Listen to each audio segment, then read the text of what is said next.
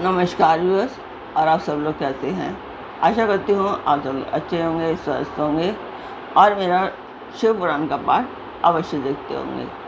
तो सबसे पहले हम जान लेते हैं कि कल तक हमने कहाँ तक पढ़ा था। तो कल तक था कि कलयुग की स्त्रियाँ सदा प्राय सदाचार से भ्रष्ट और पति का अपमान करने वाली होंगी। सास ससुर से द्रोह करेंगी, किसी से भय नहीं मानेंगी, मलिन भोजन करेंगी, कुछ हाव भाव में तत्पर होंगी, उनका शील स्वभाव बहुत बुरा होगा और वे अपने पति की सेवा में सदैव विमुख होंगी।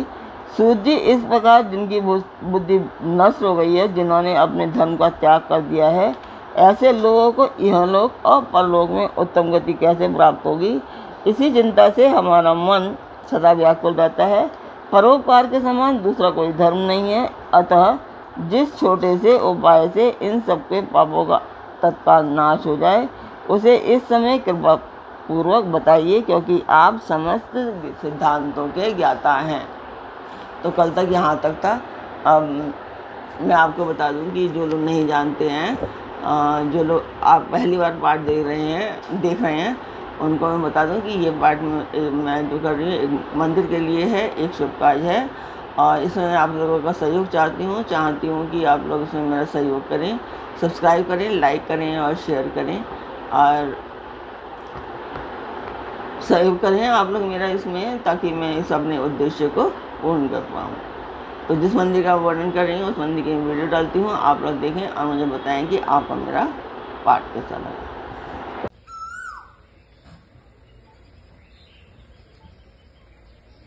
तो मंदिर की वीडियो आपने देखी, आपका मेरा पार्ट कैसे लगा? कमेंट बॉक्स में मुझे अवश्य बताएँ। और ये शिव पुराण का पार्ट है और बहुत ही इंटरेस्टिंग है, बहुत अच्छा लग रहा है। और उम्मीद करती हूँ कि आप लोगों को भी अच्छा लगेगा, क्योंकि मुझे तो बहुत अच्छा लग रहा है।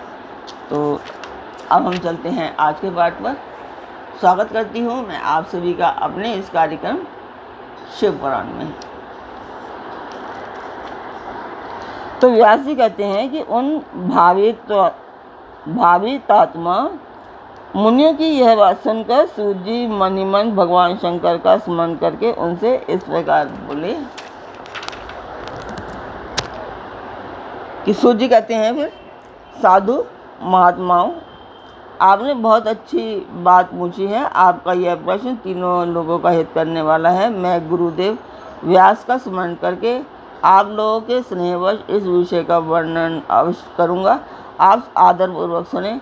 सबसे उत्तम जो शिव पुराण है। वे वेदांत का सार सर्वस्व है और तथा वक्ता और श्रोता का समस्त पाप राशियों से उद्धार करने वाला है। इतना ही नहीं वह परलोक में परमार्थ वस्तु को देने वाला है। कली की कलमश राशि का विनाश करने वाला है। उसमें भगवान शिव के उत्तम यश का वर्णन है। ब्राह्मणों, धर्म, अर्थ, काम और मोक्ष, इन चारों पुरुषार्थों को देने वाला वह पुराण सदा ही अपने प्रभाव की दृष्टि से बुद्धि या विस्तार को प्राप्त हो रहा है। विप्रवरों, उस सर्व, सर्वोत्तम शिव पुराण के अध्ययन मात्र से वे कलयुग के पापासक्त, जीव श्रेष्ठतम गति को प्राप्त हो जाएँगे। कलयुग के महान उत्पाद कभी तक जगत में निर्भय होकर विचरेंगे जब तक यहाँ शिव पुराण का उदय नहीं होगा। इसे वेद के तुल्य माना गया है। इस वेदकल्प पुराण का सबसे पहले भगवान शिव ने ही प्रणयन किया था।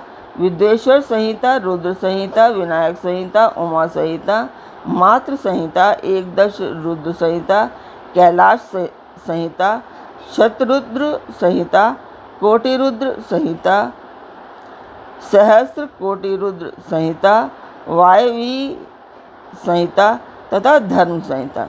इस प्रकार इस पुराण के बारह भेद भेद या खंड हैं। ये बारह संहिताएँ अत्यंत पुण्यमयी मानी गई हैं ब्राह्मणों। अब मैं उनके श्लोकों का संख्या बता रहा हूँ। आप लोग वह सब आदरपूर्वक सुने। विद्वेश्वर संहिता में दस हज़ार श्लोक हैं।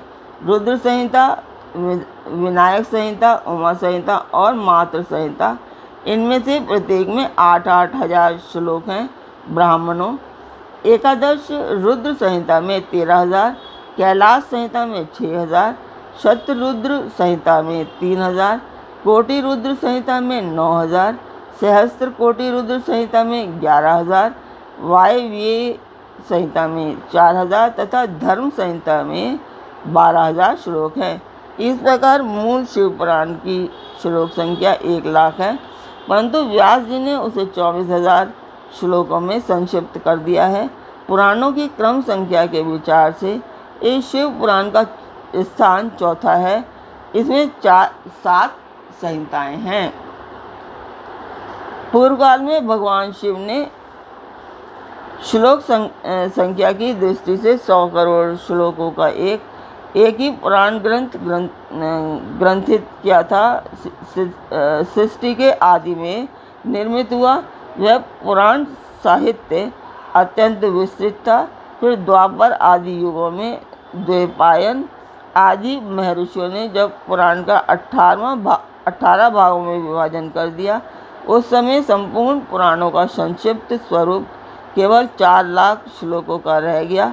उस समय उन्होंने शिव पुराण का चौबीस हज़ार श्लोकों में प्रतिपादन किया। यही इसके श्लोकों की संख्या है। यह वेद तुल्य पुराण सात संहिताओं में बटा हुआ है। इसकी पहली संहिता का नाम विद्वेश्वर संहिता है। दूसरी रुद्र संहिता समझनी चाहिए। तीसरी का नाम शतरुद्र संहिता। चौथी का कोटि रुद्र संहिता। पांचवी का उमा रुद्र संहिता। छठी का कैलाश संहिता। सातवीं का नाम वायवी संहिता है। इस प्रकार ये सात संहिताएँ मानी गई हैं। इन सात संहिताओं से युक्त दिव्य शिव पुराण, वेद के तुल्य प्रमाणिक तथा सबसे उत्कृष्ट गति प्रदान करने वाला है। यह निर्मल शिव पुराण भगवान शिव के द्वारा ही प्रतिपादित है। इसे शैव शिरोमणि भगवान व्यास ने संक्षेप में संकलित किया है। यह समस्त जीव समुदाय के लिए उपकारक, त्रिविध तापों का नाश करने वाला तुलना रहित एवं सत्पुरुषों को कल्याण प्रदान करने वाला है। इसमें वेदांत विज्ञान में प्रधान तथा निष्कपट धर्म का प्रतिपादन किया गया है। यह पुराण ईर्षा रहित अंतकरण वाले विद्वानों के लिए जानने की वस्तु है। इसमें श्रेष्ठ मंत्र समूहों का संकलन है तथा धर्म, अर्थ और काम इस त्रिवर्ग की प्राप्ति के साधन का ही वर्णन है। यह उत्तम शिव पुराण समस्त पुराणों में विश्रेष्ठ है। वेद वेदांत में वेद रूप से विकसित परम वस्तु परमात्मा का इसमें गान किया गया है। जो बड़े आदर से इसे पढ़ता और सुनता है, वह भगवान शिव का प्रिय होकर परम गति को प्राप्त कर लेता है। तो आज का पार्ट मैं यहीं पर पूर्ण करती हूँ। कल फिर मिलेंगे एक नए पार्ट में, एक नई उमंग, एक नई तरंग के साथ। तब तक के लिए ओम नमः शिवाय।